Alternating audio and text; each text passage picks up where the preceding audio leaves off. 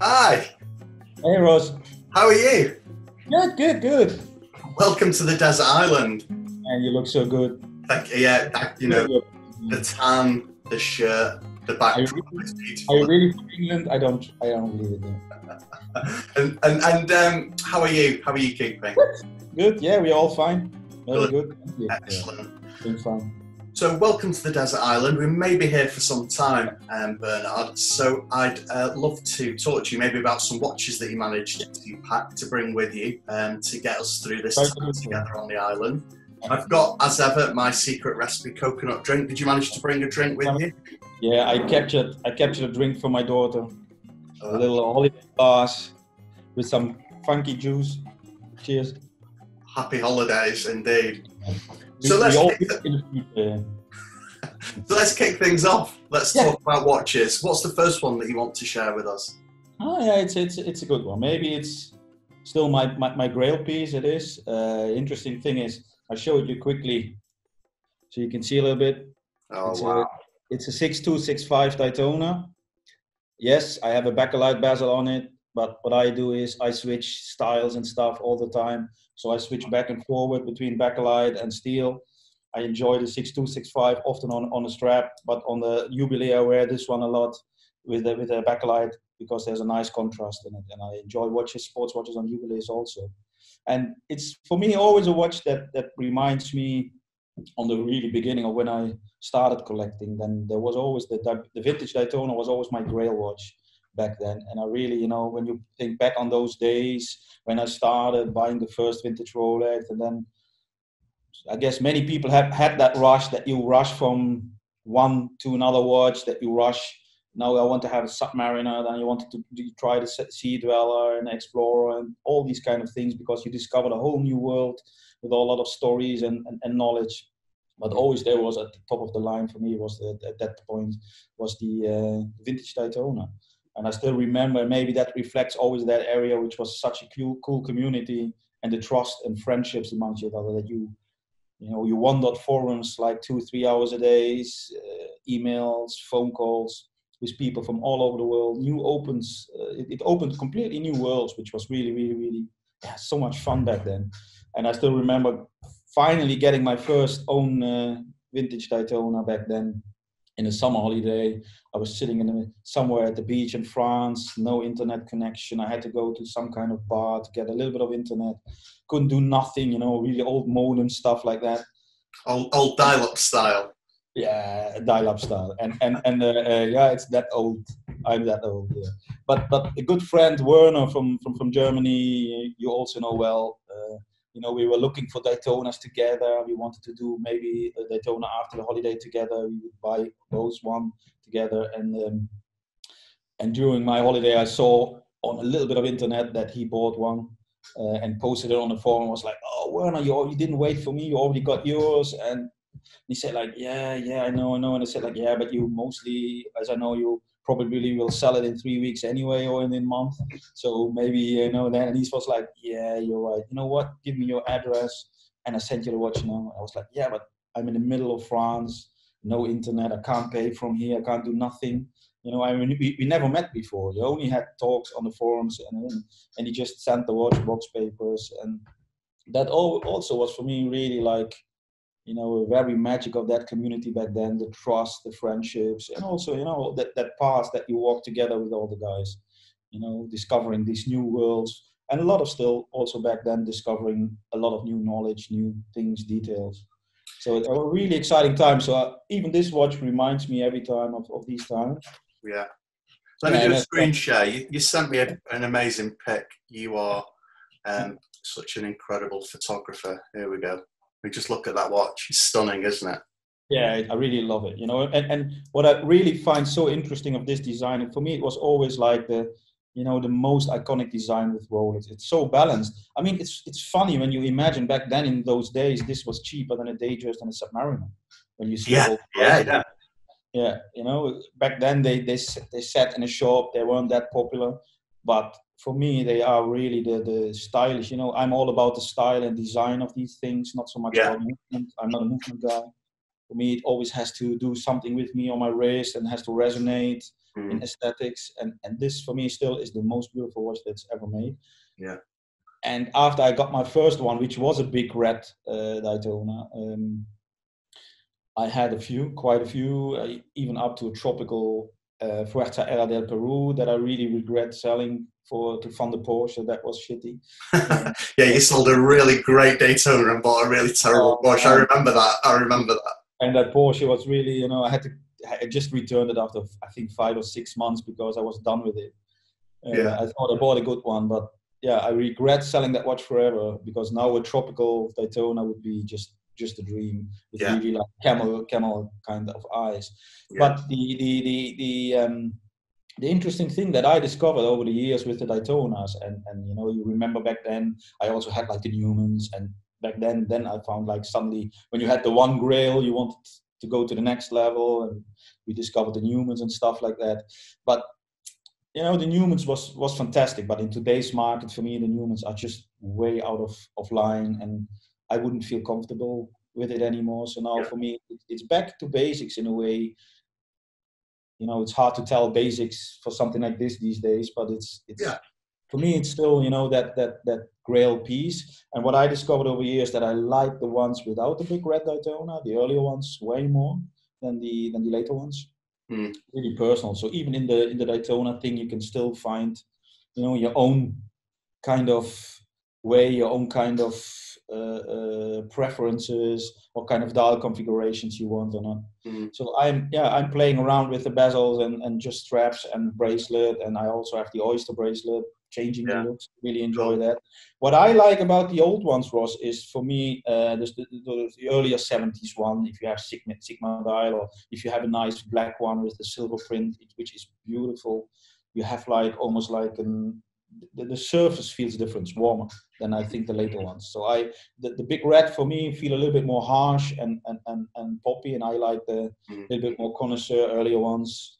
Yeah, in my in my in my view. So. Um, yeah, cool. Yeah, I was really happy. You know, like a few years ago, I was at Parma and I found the bracelet, but especially with the rare uh, end links because this these days has become a total hype. So yeah. find the 19 millimeter end links, and this is you know really special to Wow.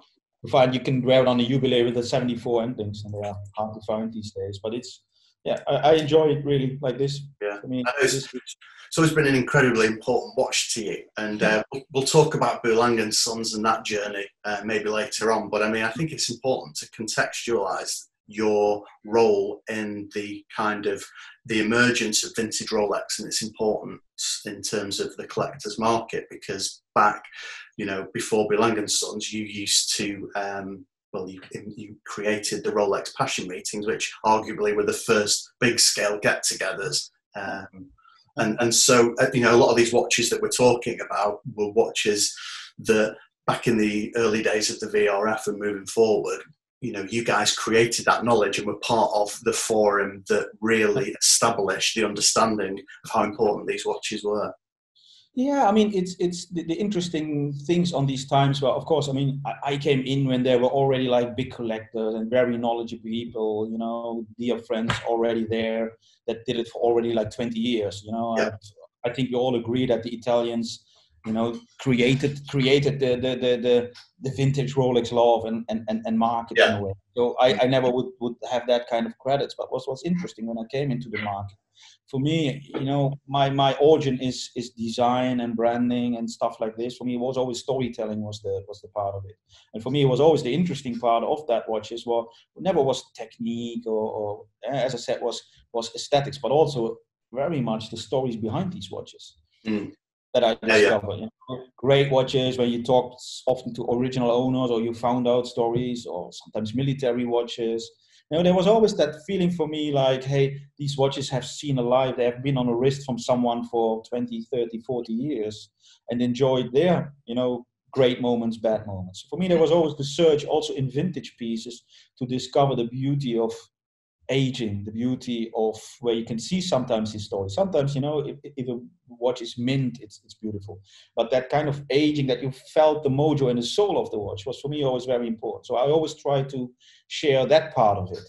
Mm. Back then, when often in forums there was still talks about uh, you know details and technical and, and and you know it was was more not nerdy it's the wrong word but it was more like focused on really collecting stuff and i was always enthusiastic about the feeling that it gave me to wear a watch like this to to to to share that heritage that the watch had in it mm-hmm. and so you know of course many of you know philip stahl and i we, we, we met we came in from the same town so we started to walk that path together and, and discovering this whole world and, and started to write about it shoot it put it into studio, shoot it on the wrist, adding you know styles and all these kind of things to it.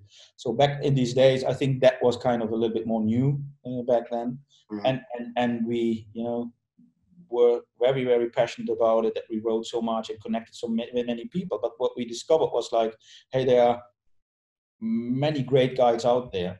And we all living behind a PC and talk about it every day. We are talking almost more to each other than to our wives, or at a mm. certain period mm. but we never met. You know, there's no place where you could put all these watches on watches on the table and really enjoy the details, compare them with each other, have them in the hand, try on a beautiful watch from someone else to to understand if it's something for you or not for you or what is behind it. So at, at the point it was like, hey, we are all in this community so much together, but actually we never meet. And there of course was also a group that would go to auctions and meet there or watch fairs.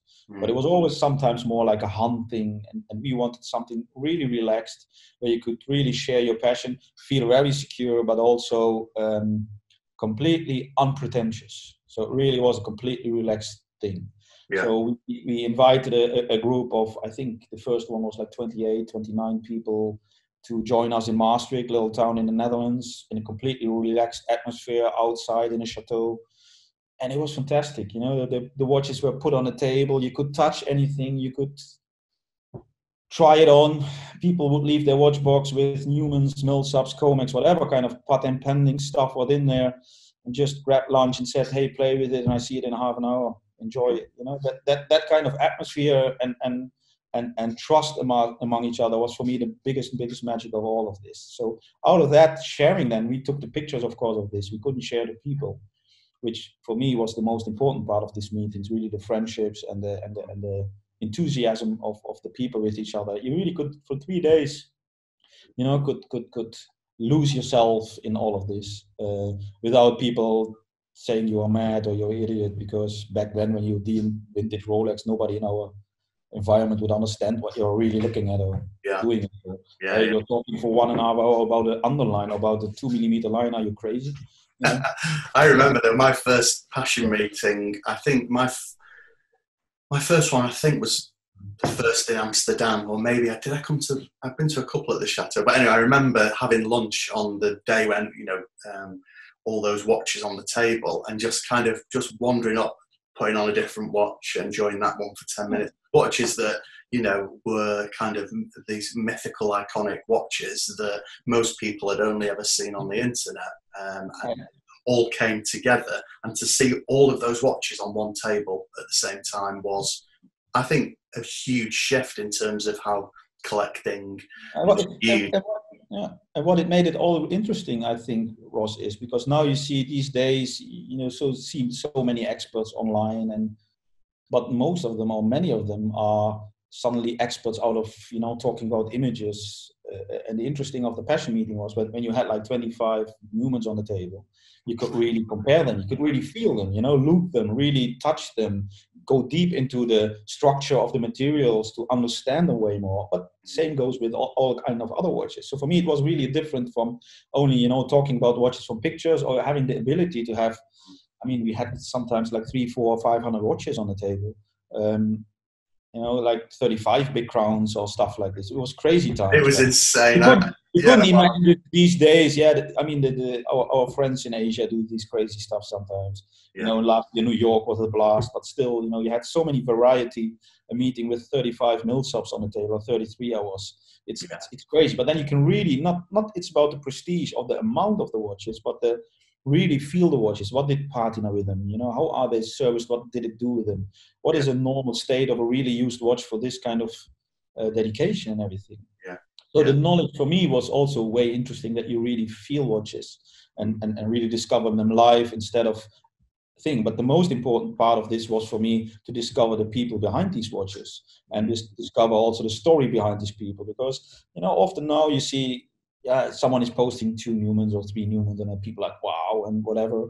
But they sometimes forget the hours and hours and hours spent to get there. You know, starting first with one watch, and uh, and of course you have people now. They say, oh, I buy my first vintage Rolex, and I buy the Newman in auction, blah blah blah. Mm. That, that's part of it. But many of the friends we know, they have gone a path to, to, to get there where they are, and they have paid a lot of money you know in lessons learned uh, they spend so much time in to get there. So it's also the stories behind this watch and understanding that it's just not buying something. It's really the whole past that that gets you that makes it so interesting.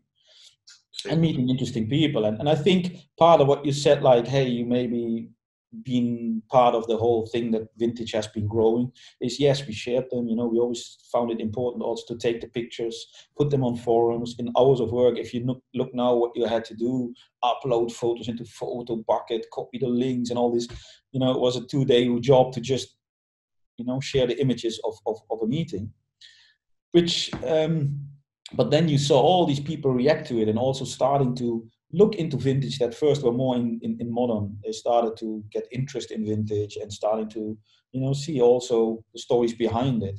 Mm. i think that was a big part of maybe where vintage is now that, that, that there's more and more people got enthusiastic by many people who, who did this but yeah partly you know uh, by the passion meetings and i did later the blog where i shared it but also sharing it on forums on, on instagram.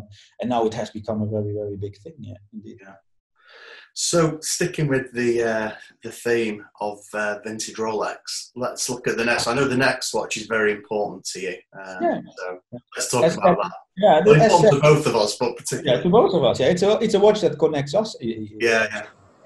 I mean, as said, the, the, the, Daytona was always my grail. It was always kind of a watch that I had always like this status for me, and I don't wear it so often. You know, a lot of the time it's in the bank. Or the watch that always has been with me eh, actually since the early days that I started collecting. And the funny thing is that it's also um, part of the watch is with me like for 14 years already, I think. Um, is my Maxi Mark One. Wow, great watch. Yeah, such a great watch. Yeah, and for me, for me, you have a few pictures. I, I send you. Yeah, let me. I'm going to go straight into. I normally wait a little while, but I'm going to just share this one straight away. Here we go. Yeah. Just and, super cool. And for me, for me, you know, the, the Submariner, of course, the 5513 is kind of always the key watch to my, you know, not, not so much to the collection because it sounds too much, but it's to my collecting thing. Um, because whatever I will do, I will always have a 5513. Yeah. It's, it's, and preferably always have a Maxi Mark 1. Mm. For me, the Maxi Mark 1 is by far the nicest let's say normal 5513 matte dial.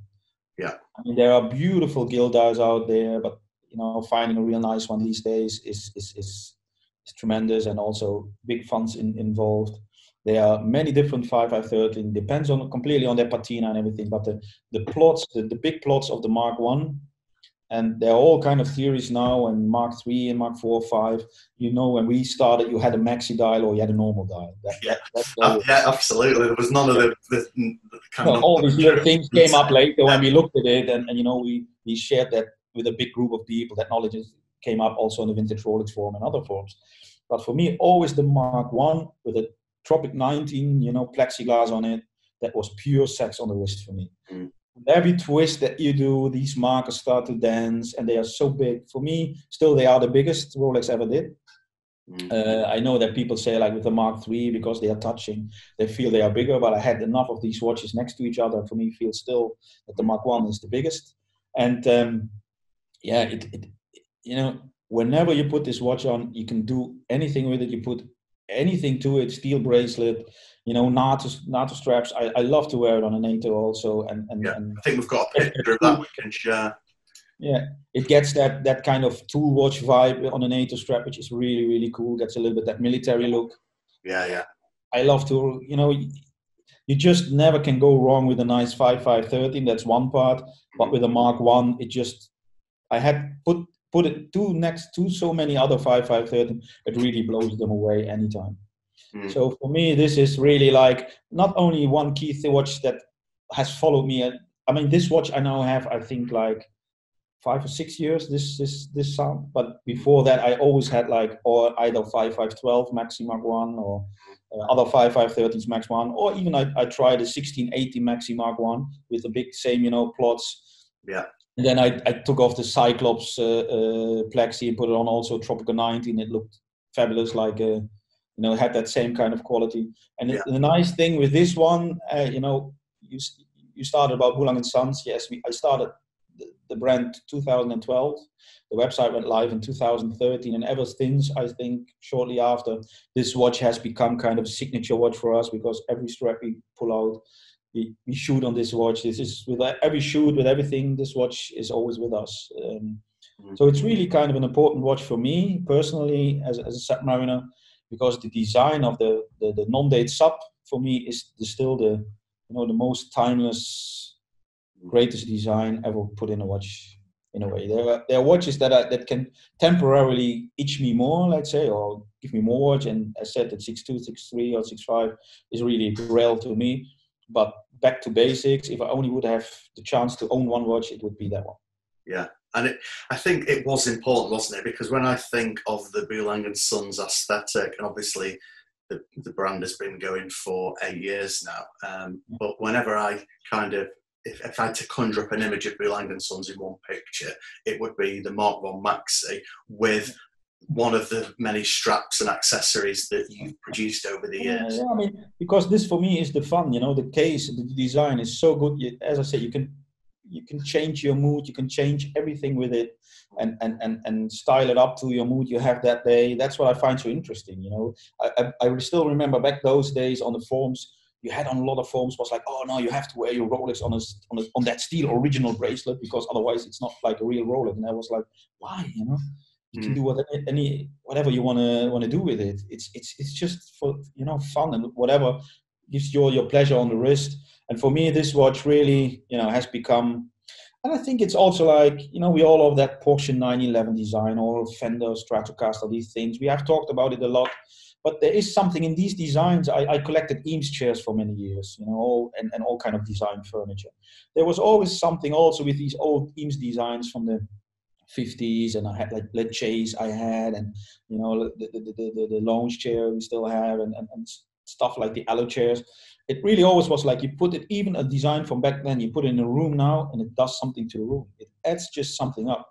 It, it changes the aesthetics the, the vibe of something. Even if you put it in a, in a concrete modern uh, uh, environment or put it in an old castle it still holds up to it. And this this is what i think what the yeah the 5513 submariner design really had.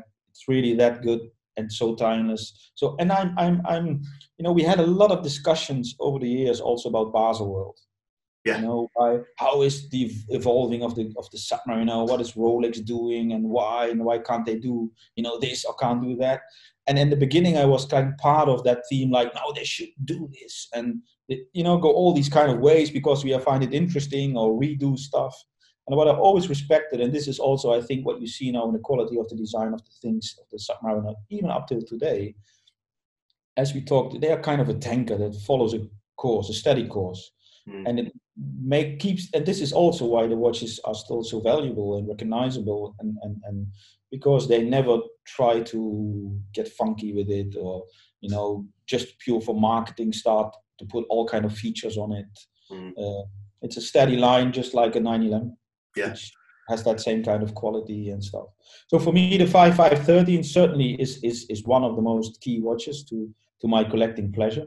And um, you remember, you know, just just before Corona hit, we started a little initiative, No Date Sub Club. Also, yeah, I was going to talk about celebrate. That. Yeah, just a, you know, we will do more with it in the future again when we can, you know, focus again where on new things. Business became so busy the last months. Uh, yeah uh, that, that I had to focus back again on on on on, on getting all the you know the things in at Bulang and Sons uh, not not running, but uh, keep up with everything. Um, but but yeah, I'm really for the future. I really want to do more with this and really celebrate the no that's no date submariner and yeah. you know try to find a, a, knowledge base, share all these images and passion and love for those watches because that's they really deserve it. It's a pretty neat segue then into watch three talking about no date subs, and we, you know, this this next watch is incredible. Uh, over to yeah.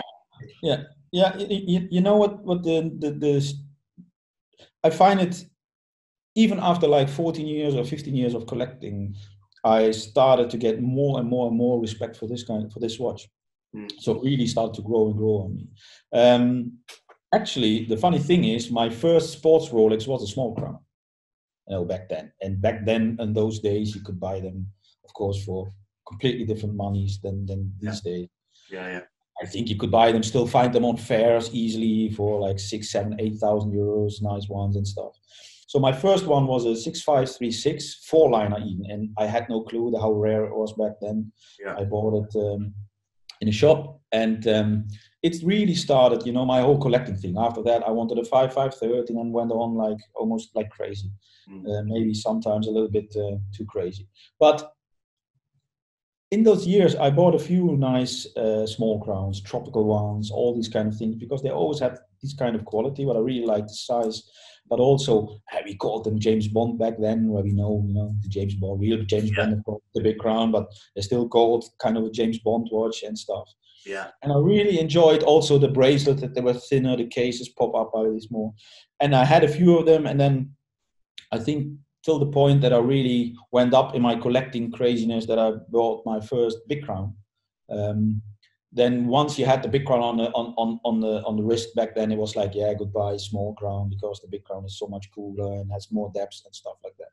Yeah. So yeah. really was like I never looked back at small crowns for what is it, ten years, nine years or something like this. Mm. Enjoyed them, saw them on meetings, beautiful watches, but hey, I had the big crown and then it was the till a few years ago. I think it was three years ago. I started I started to look at them again, and I and I was able to to find a nice one. Uh, this one a five five oh eight. Stunning. Full gloss and and yeah, the light is bad today here, but it even turning brown when it really hits the hits the sun. Wow. Let me sh- let me do a screen here. Has this more greenish greenish loom. Yeah, yeah okay. You sent me a a stunning yes, picture. You know, I'm a fan, a real fan of the um, oyster rivet bracelet. Yeah. yeah. And uh, yeah, it's, it's one of the part what I yeah, it's one part of the things that I really liked about these old submariners that they had the thinner bracelets, so the case would pop up more towards the, the design than in these yeah. days, or even like the, the 80s and, and, and later 70s with the thicker bracelets. It became more like a complete thing. The watch and bracelet went into one thing. And back then, you really had the case pop uh, uh, versus the, the bracelet, and yeah. they were much more comfortable, in my opinion. So yeah. for me, I, I, I bought that uh, 5508, really enjoyed it. And funny enough, the last year or two, I really, really, really love it more. I, I wear it quite a lot, even to be honest. I wear it now on a, on, on a super comfortable leather strap. You sent me pictures that. Let me show. Yeah, because it sits so nice on the wrist. It's so um, elegant at the same time. You know, the, the, yeah. where the submariner, where the submariner really, you know, is also still big on your wrist. Feels this one feels so comfortable and one with your wrist mm. and, and, has all these quality, this adventurous thing from the past. So what I really, really like about these these days is the proportion. And yeah. what I really like about wearing this one is that I can go back to kind of a stealth mode with wearing watches. Yes. With, with vintage watches having gained so much popularity over the last years. If you wear a Daytona on the street, people will look at you. If you wear a Submariner, people will look at you. Not like back in those days, people would say like, "Oh, he has an old watch." I don't care. Yeah, yeah. And, yeah, and the five five or eight for me gives me that little bit the back that stealth that I can wear, you know, without anyone else noticing because I wear it for myself, not for anyone else. Uh, yeah. But I also think the case is so balanced and so, yeah, so nice in proportions. So really, you know, once one day I was like, oh yeah, I don't know, the, the, the big crown is, is is more interesting than the small crown. And these day I find small crowns. So interesting and way more all all these different patinas and how they look you know when you get the earlier ones with warmer loom and and sometimes big uh, red triangle insert the later ones with a little bit more greenish the different glosses. Yeah it's it's it's it's really you know also a valuable watch these days. Um yeah. so it has gained some status over over the, over the years yeah. recognition. But for me this is really such a stylish stylish piece. Yeah, so cool. I mean, I think it took a. It's one of those watches, isn't it? That's been a kind of a slow grow. Um. And then last year at Phillips, that new old stock example, oh, crazy, that sold for say, like half a million um, for a yeah, big crown. I remember talking to you after the because I was in Geneva for the sale. I remember talking to you the following week, going like, "This is insane. This is insane. insane. I have no clue why, and I haven't seen the watch live, but it was really like, whoa, what's yeah, yeah, on? it was incredible. Yeah, yeah.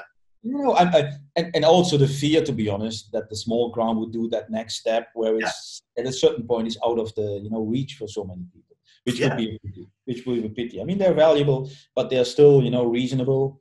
Mm. Yeah, I mean, the craziness is what is reasonable. You know, prices of these now is like what big crowns costed like 10, 12 years ago, maybe a little bit less than that. But uh, you know, but it's the same with the Daytona. So you now pay for Daytona what you pay for a really nice human eight years yeah. or seven years ago. Yeah, yeah. Um, so it just has shifted, and these are really grail pieces also still.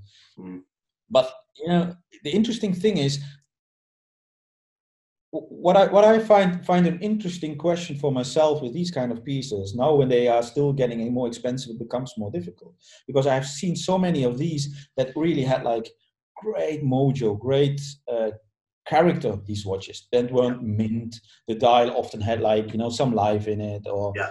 when they sometimes get uh, tropical they get the dial gets a little not that full gloss tropical brown but gets a little bit more life in it you know what I mean yeah patina yeah yeah yeah absolutely which looked stunning, you know, yes. which really was like a yeah, very, yeah. very interesting watch. Yeah. And the last years it has switched a little bit like, yeah, but then I don't take it because it's it's not perfect. And then yeah.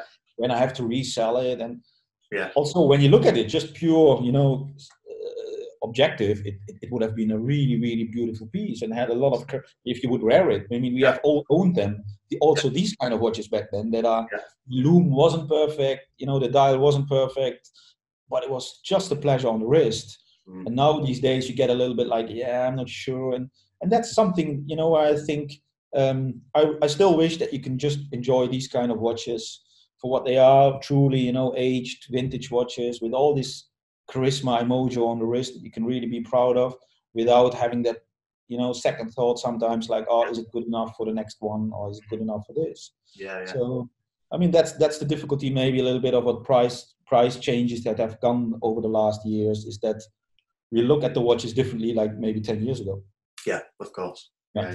and we enjoyed it very much back then in that direction and i hope still that people are enjoying also watches like this or 5530 even if there's a yeah. replacement inlay on it or the, the bracelet has been replaced the dials have been nice but yeah you know, it's it's the we both know it. It's a true history of of, of aging of a vintage watch. If yes. you go to Rolex service, sometimes an inlay get changed. You know, is it that mm-hmm. is it by that now a, a bad watch? No, absolutely not. It's still a beautiful vintage piece. Yeah. You know, and, and, and, and, and just enjoy it. It's a different value, of course, but it's yeah.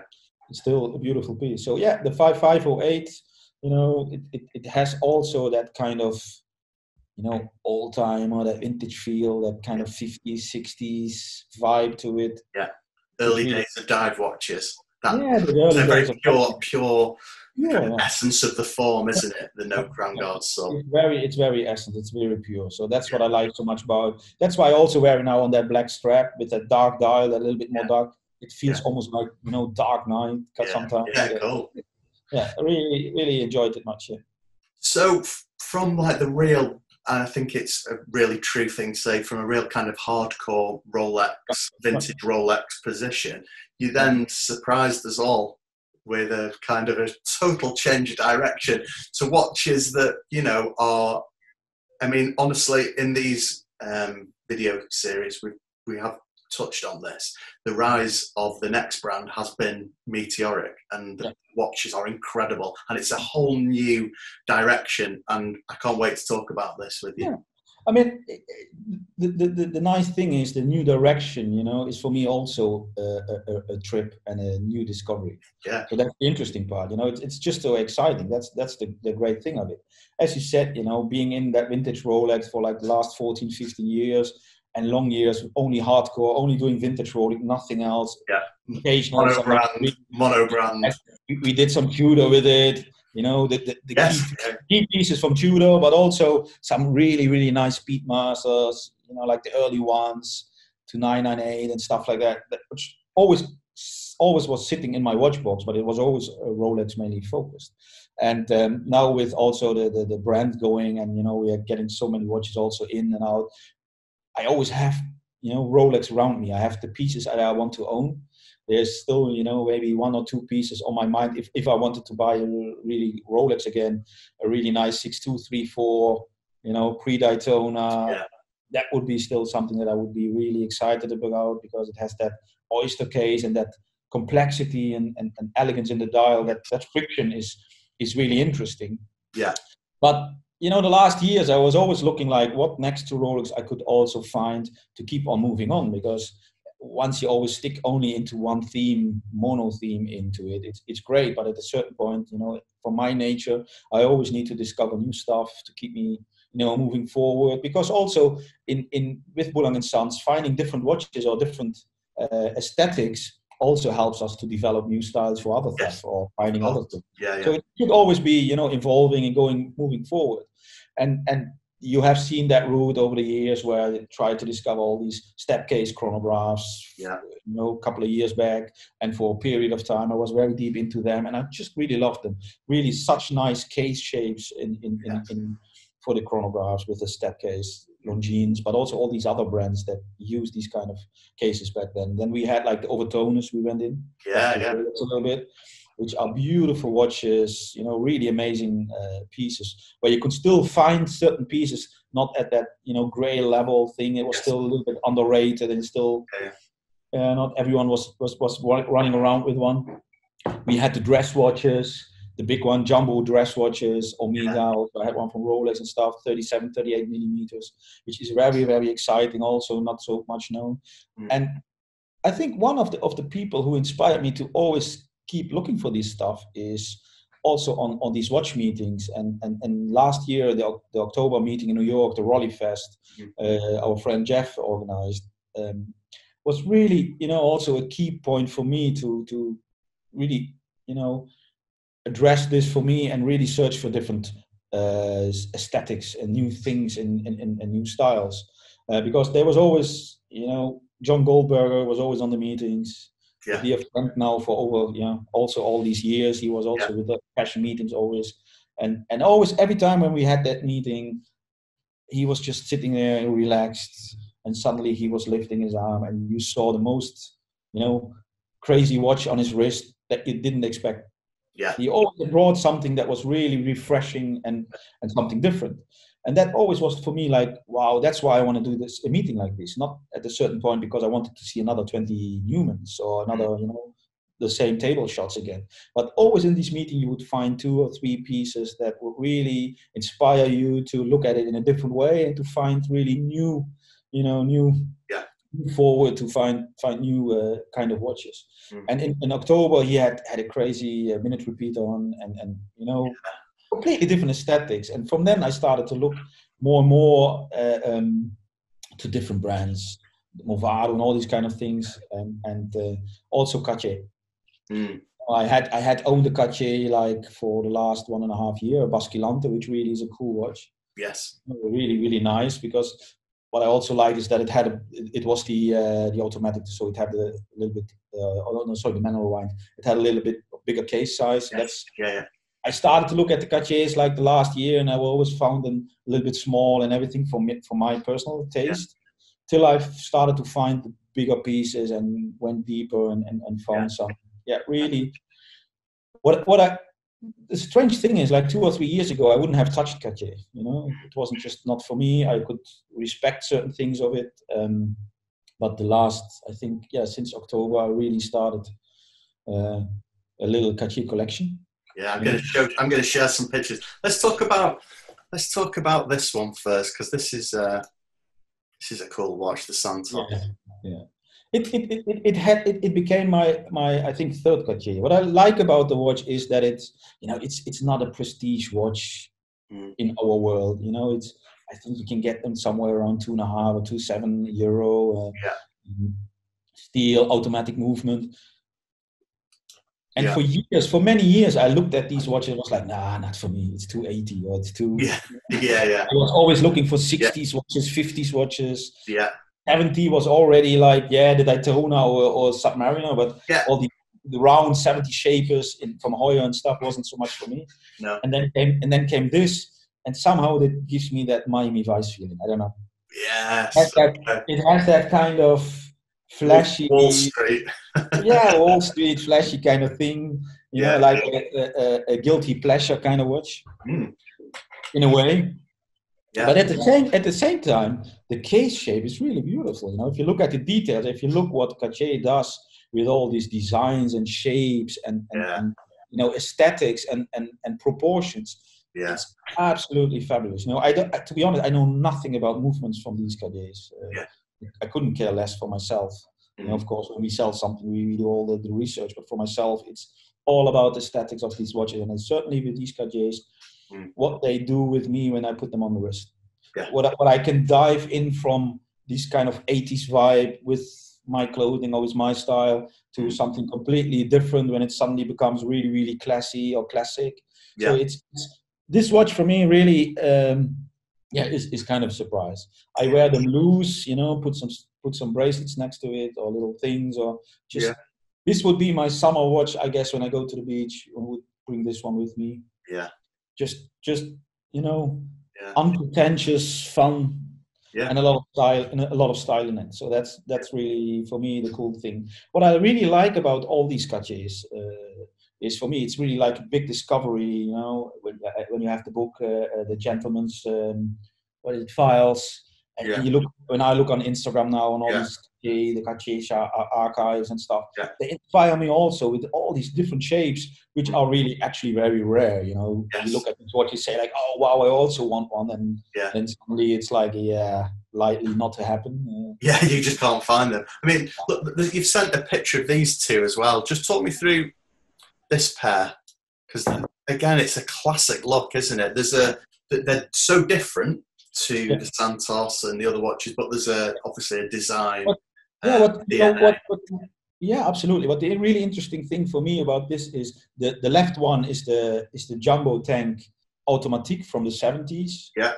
Which for me was my my my after the Basculante was my first real Cartier. I bought it from a friend, and once he, he had it on his wrist, we had like this watch little watch dinners uh, uh, with friends uh, once a week, Mhm. and he was wearing it and was like, and it itched me. You know, it was really like, wow, I need this watch. Mhm. It, it really was so exciting because the size is big. You know, normally, as we said, the Cartiers are very, very small. But Yeah. this one, I don't know out of my head, but it, I think it's somewhere about 27 or 28 by 30 something. Yeah. So it's really the jumbo, and on the wrist, it's really big. Um, yeah. So it has it. I think we've got a picture of this one on its own actually as well, haven't we? Uh, here, I think so, yeah. there we go. Yeah, super. So it's it's it's that all that classic Cartier look. Uh, Yeah. I, I wear it now with an with an uh, old style uh, lizard strap, Yeah, which yeah, I mean I I like to wear it with you know outfit I have like on Yeah. like this. Yeah, Where yeah, has that kind of strange friction because normally you would expect like a you know a suit or anything with this kind of watch, the really classy thing. yeah, and I and I enjoying just wearing it with some sneakers and, and, Yeah. and military stuff and all. That, and that's for me kind of the theme in this in this Cartier thing is that looking Yeah. for that friction because Yeah. I would have never thought of myself as a Cartier guy No, absolutely. Yeah, yeah, and and now I'm to be honest I'm wearing them most of the time yeah, um, uh, because it's such an exciting thing to put it on and and, Yeah. and feel what it really does to me it, and and, Yeah. and and the the kind of resonates on my wrist Yeah. with everything I do. So it's really exciting. Um. And, and also what is really nice about this watch is you know the, on the back they have that little bubble to hold the automatic movement. Oh, yeah, okay. So it's also just a nice detail you know you wouldn't expect, but it makes also it takes care that it sits a little bit higher on the wrist, so it it's not really a small a small piece. My colleague in the office, Giacomo, he was wearing Cartier all, already before me. He was already discovering them. He had some smaller pieces that were just a little too small for me. But when I found this one, yeah, this one I think will be also a really a keeper because it's Yeah. it's just the perfect balance for me in size and and and, and so comfortable to wear. Yeah. So for me, it's it's really beautiful. The Um, other one, This one, yeah, I'm going to share. We've got an individual picture this. The case is outstanding, isn't it? Yeah, for me, this one is kind of a surprise of, of, of earlier this year. I was on the watch fair in Munich, and I was indeed had a, you know was there running around and also looking for some stranger. As I said, you know, inspired by John Goldberger, uh, trying to find something that is really a little bit out of the ordinary. When I put it on the wrist, that it's really some funky thing. Yeah. And, I, and I saw this one, and I knew immediately I need to have it. It's it's a Cristallor. It's also quite a big size for for for Cartier. Mm. It's a manual wind, and I think it's one of the not so popular models from their lineup over the years and everything. But maybe that's something that's exactly that's what attracts me to it. When most people might not find it the most uh, popular one, then I find it very popular. Yeah. Um, and it's so not me in a way over the last year because I think when I picked it up, you would have said like, "Ben, what are you doing?" Yeah, no, I think I did say that when you picked that up. I think you sent me a picture of it from the fair, and I was like, Yeah. "Dude, this what what's happened What- to what- you? What- Yeah, we need to have a coffee and, and look at some oyster cases, mate." Yeah, yeah. What did you smoke? But it's so cool on the wrist. Yeah, You know, it feels. It's kind of my Italian watch, let's say. You know. Yeah, uh, okay, I don't yeah. know. It feels like, you know, it feels so cool on the wrist to wear it. I, I even wear it. I, I first wanted to put on a new strap, which is not easy. It's a special strap from Cartier. You have to have to get the shape. This is a really old strap that has all these marks in it, and you know, beaten up crocodile. But Cool. it's, it's so um, soft and, and, and flexible. So I'm wearing on it, and I'm not sure I want to change it for very soon because it has that kind of I don't give a fuck kind of yeah, feeling, which I really love with it. yeah, yeah. So yeah, if this wear it, it for me it's really like yeah, it's it's the watch that that is you know breaking up with everything that I ever believed I would do. You know, I'm I'm I, in my I'm not an Art Deco guy. I don't have Art Deco interiors, so you know I always was that design classics and maybe 50 kind of Yeah. aesthetics. But this one is really cool to me. You know, it's, oh, That's it's so good. And there are so many cool shapes from Cartier. When you look at these kind of things, the the gondole, which have become expensive. I saw lately with with a friend, had like white gold, which was like wow, the big one, really big one, like Ah, yes, yeah, yeah. which are really really cool. But Mm. they are now already in a price league where I say like I, I don't know if this is for me, but um, this was still you know super cool find where you maybe have a watch that is around four four and a half thousand euros where you can really Yeah. eight- 18 karat gold where you can really have a lot of fun without breaking the bank. So talking about interesting shapes and, Yeah. and, and, fascinating watches, this I'm going to just go straight into this amazing picture that you sent me. I mean, look at that. This is Yeah. cool. This, and, it's, this- and a benchmark moment for you in terms of metals. Yeah, it's my fir- first platinum watch. I never owned a platinum watch. I had white gold and yellow golds. Not so many in the past. Yellow gold, So steel. So this one was my first platinum. Now I'm a serious guy now. You know, I'm grown up. Yeah, you've reached platinum status. I reached platinum, yeah. But what for me was the most interesting in this, you know, I have seen that model over the last one and a half year when I was looking, and I was always like, yeah, nah, I'm not sure. Maybe it's a little bit too, you know. Now I'm really getting like a Chesterfield or something, and I need to get old and in a way. So it was maybe too classic for me. But but a friend of mine uh, dig this one out, and I showed it to me, and it was for me. It was like, yes, I, I need it. Yeah. It's really it's really such a funky shape and it and, and great size because it's not really that small one. It's it's one I think out of the 90s. I haven't I have it for a few days now to be honest. Uh, Yeah, uh, yeah. So I haven't done all the research and things. But imagine this this design is like from it's 114 years old. This this Mhm. design is from 1906. Yeah, So it's really you know, and I'm spoiling immediately that I wear it different these days. yeah. I was just going to come on to that. I mean, that, I'll share that now because obviously, in line with what you do. If you, if you, you can go back to the other picture, is that okay? Yeah, this one. Yeah, yeah, yeah. One, the first one. Yeah, yeah.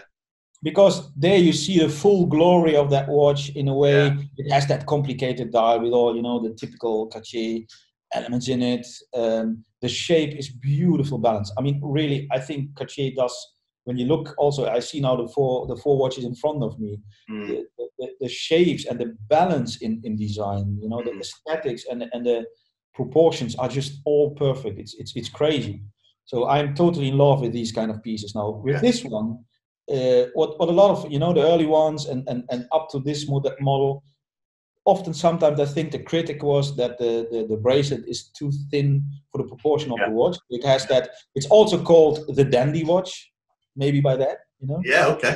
Yeah. But but I find it really the challenge to just also wear it like that because it, you know, if you can pull off this, you can pull off anything. In a Yeah, yeah, know? It's- yeah, yeah. you know wear it like you you want to i'm i'm i'm i'm not so you know strict to rules i ra- rather break the rules or play with them break the rules. Yeah.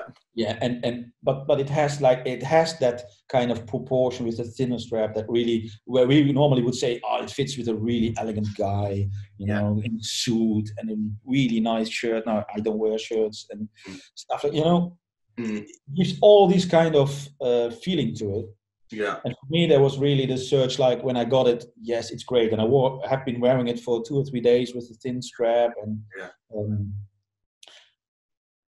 somehow that felt a little bit less comfortable because it's a thinner strap on a platinum, a little bit more heavier watch. So Yeah. I like a little bit more heavy. And I was thinking, what and what else can I do with it that it brings it really into my world? And Mm. yeah, I guess you have then that next picture where it shows a little bit Yeah. where I try to wear it with.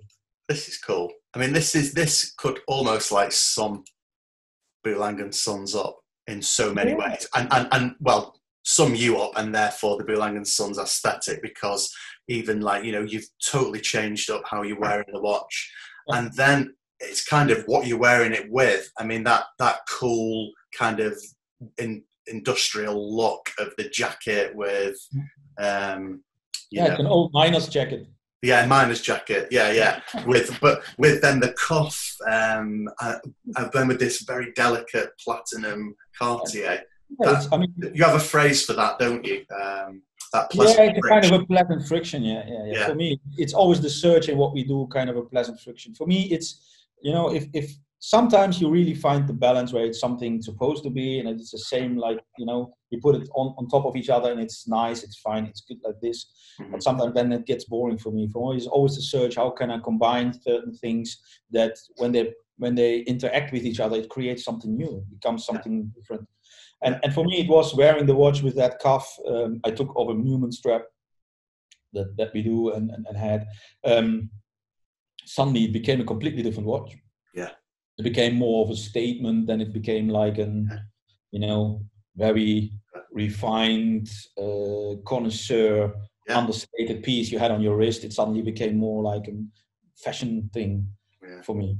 So I really enjoyed with that, and, and I- will mix and match and flip and flop with it all the time. But it's yeah, this one has been on the wrist for the last days for me, and I really really enjoy it. And also, you know, if you look at the shape also from the sides, It's great, isn't it? Wow, look at the crystal. Wow. Yeah, the crystal has has that has that shape also. You know, you see, so it's Cool.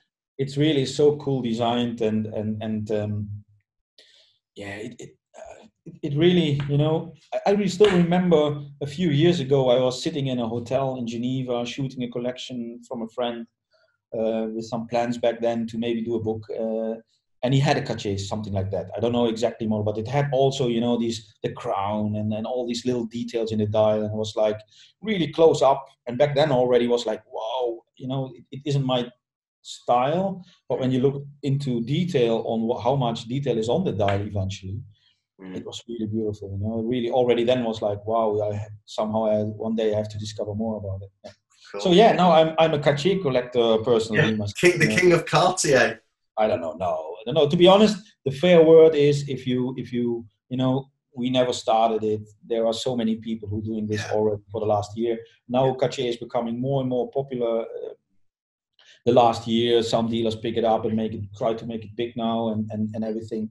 I try to keep it a little bit low profile still, so I can still find some pieces at reasonable prices. Yeah, don't don't build it up too much because you still No, want to enjoy no. collecting them. Because yeah, because you, there are so cool things out there, also from different brands. Yeah, but you know the honor to to the people that are you know they're also like people like Eric Ku and others and, and yeah, yeah. certainly also certainly oh, John Goldberger who, who you know collected these pieces already like 20 years ago and already saw the beauty of these way before we did and it's now great that you see like uh, you know people on Instagram and, and you know writing book uh, that are way putting out way more information about these Yeah. kind of watches and the brand Yeah. because for me the brand and the watches and also wasn't even you know till maybe a year ago was a complete darkness but also was if you would google for information it would be very hard you know with vintage rollers you could find a lot of things with this it was very hard to really move forward So yeah, at the moment, Cartier is is my uh, venom, and Awesome. and yeah, try to find some existing things for. Uh,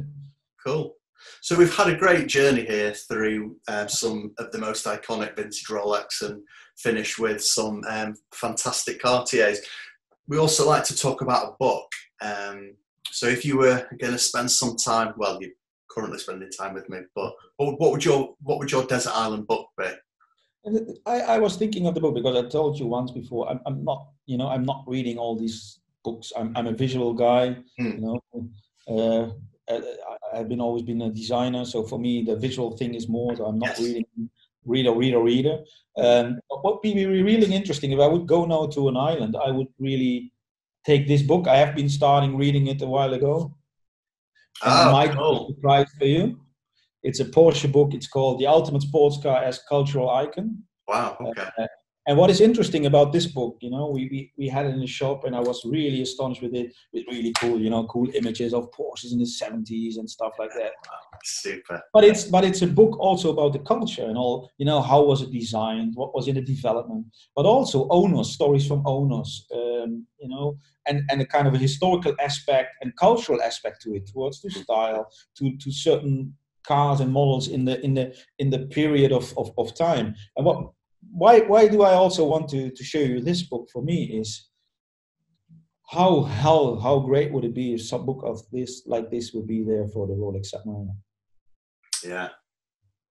you know what I- what i find you know it, it maybe it's one of my ambitions for the future or something to find the time um to really you know write down this you know the the cultural aspect of an iconic watch like that Mm, yeah. you know maybe something in in our no date sub club we will do this or something at, at a certain point you know Yeah. as i said like you know this is just like stories about a guy the first time he was sitting on a porsche or whatever he Wow. experienced design studies you know how fantastic would it be if maybe even let's dream when we are on an island rolex would participate and would say i really write down the, the thing if we could find some kind of design sketches from the, Yeah. from Wow. That'd be amazing. or, Yeah, or, yeah. or, or you know prototypes or anything and you could really you know just like with porsche does with his 911 you put in the heritage not only in there but also the stories of the people you know i, I had i had a talk with a dear friend about like mill subs uh, a while ago in, in the beginning of this year who is really deep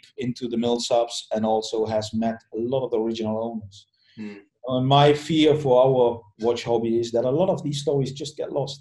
Because you know collectors who are in this for a long time now maybe also with all the biting and biting sometimes on the instagram and stuff um, they rather shut up or they, they keep you know keep more for themselves which is a pity. But wouldn't it be great to have a really great book to honor that timeless classic watch where you could put all these kind of stories you know? How are these watches used in, as a tool watch?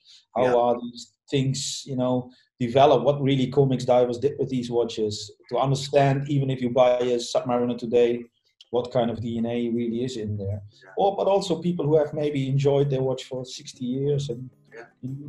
so it, for me a book like this i really want you know i'm going to read but also i would be a really great start to maybe do this for rolex and 553 and, uh, Well, with it. We heard it here first. The No Date Sub Club book coming soon. well, who to, knows, to who a knows? bookshelf near you, to, a desert island near you soon.